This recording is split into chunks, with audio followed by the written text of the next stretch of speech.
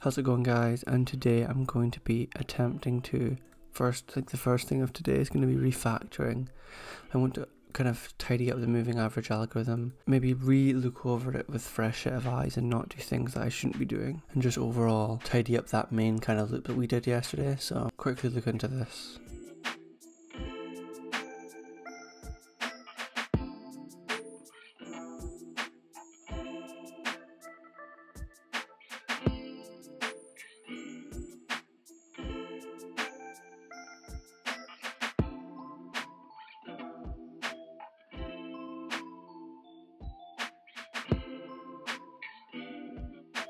So I've done some pretty big refactoring. The first thing I did was write some nice easy comments to understand. So first of all, we create the main data holder, um, which is a vector of moving average stock here. Part two, we're now going to check if we have data on a certain stock. If we have the data, that's fine. If not, you know, we need to download it. So what this does is it goes through, goes for every ticker and all the tickers we're watching, which is AM, just for testing as AMD. We first of all check if basically does it exist in the directory. If the file does exist, perfect.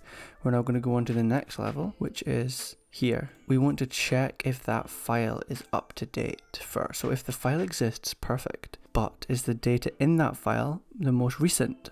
So I'm still doing the simple check, which is working quite nice for today basically is if the data is either matches today's date or yesterday's date, we're good, which won't work on a Sunday, so I'll need to fix that. Now, if the file exists and is updated is false, we're then simply just going to download that data. Great. Now we're on to part three. We're going to create the four initial data points. So this loops through every ticker. Now, this was changed from this where I had to create a variable to store each individual one. And then when I went down here I would create base basically you can obviously tell that there's a way to loop this. And it was done basically this this way.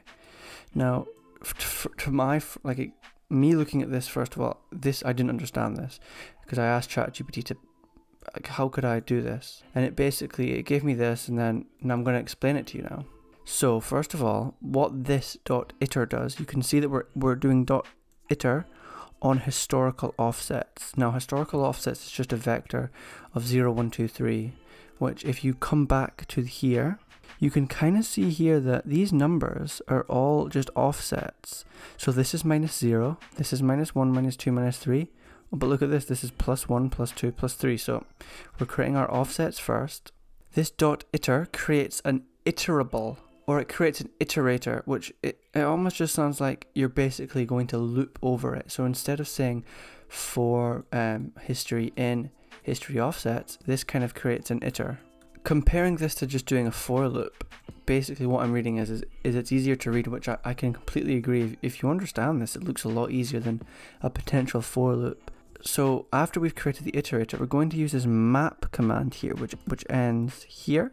Now to me, this looks like we're mapping over so this in in these in these straight lines it looks like I'm, I'm assuming we're now as we're iterating through history offsets this is almost like saying for history or for offset in history and referencing offset.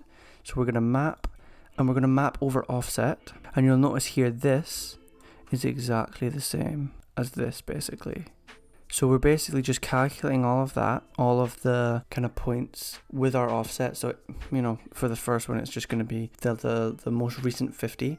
And then once you kind of get all the 50, last 50, you turn it into a vector and then you collect all the pieces into our vector vector of a string. Now I'm not fully, I don't fully grasp this, so if anyone has any, if I made a mistake or anything, you know, let me know. But that's my, that's kind of how I've understood it. It makes it really easy to read and you know obviously it's quite smaller so I might try and see if because I do quite a lot of for loops if, if I can implement iters and maps instead. Now on to the fourth part which is the main loop. This is not fully done yet. I've actually not started on this yet. I'm just going to show you what it looks like now. So now the main game loop is just, I'm going to work on actually getting potential signals working. And so I was saying is I'm basically going to try and um, get some potential calls going here. So it'll tell me if it, if it is bullish or bearish.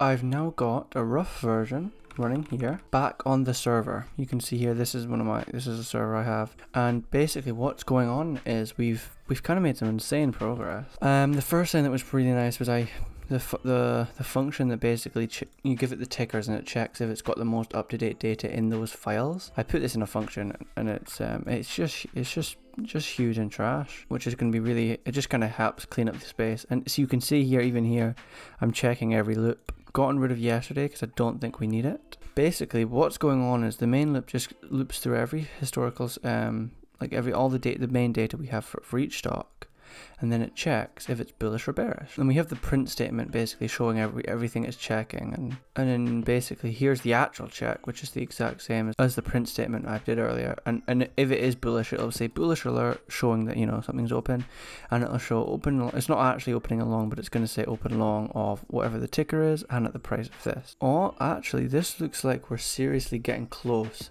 to being ready to be finished with this algorithm which is quite fun because this one's clearly taking the longest. I think what the next steps would have to be would be actually opening trades.